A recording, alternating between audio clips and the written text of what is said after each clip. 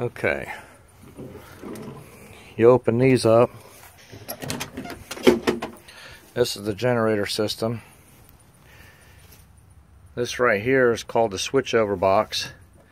This box right here, when you plug in your power cord, it switches from the generator to a landline. This is the landline. I've got it plugged into my house right now. This is a propane system that comes in, feeds the generator down below.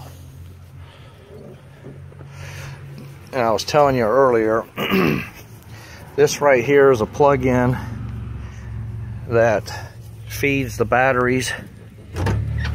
This is a battery tray system. These are all the new batteries. It's a real nice setup. Slides in and out.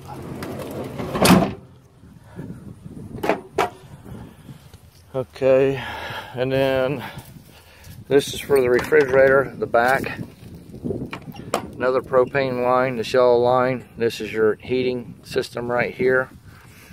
This is electric and propane. Here's the plug-in. There's a receptacle up in here.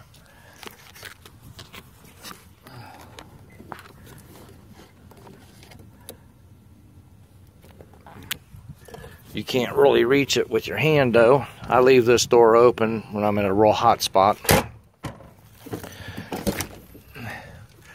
More storage. Two propane tanks in here.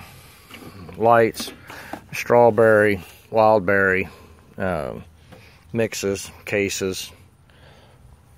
Propane. This propane here is for the uh, stove and um, trying to think what else. It's not for the generator.